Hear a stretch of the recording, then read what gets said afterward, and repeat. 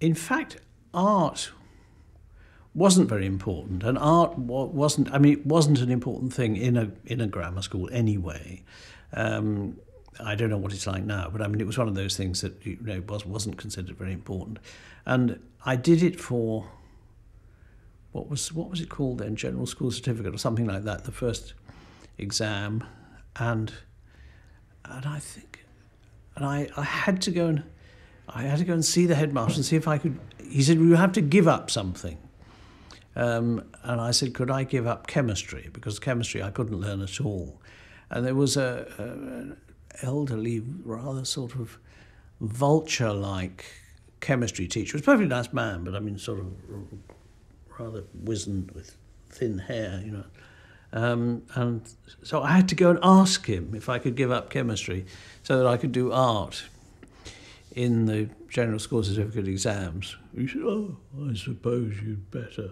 Um, and uh, so I could do art in, I mean, about two terms or something like that, which was, which was um, okay. I, I'm now muddle up the exam at 16 and the exam at 17 or 18.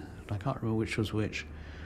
I remember going into one of those exams and doing a still life drawing, pencil still life drawing, and you could. One subject was 16 green apples, I think. I can't think how they thought of that.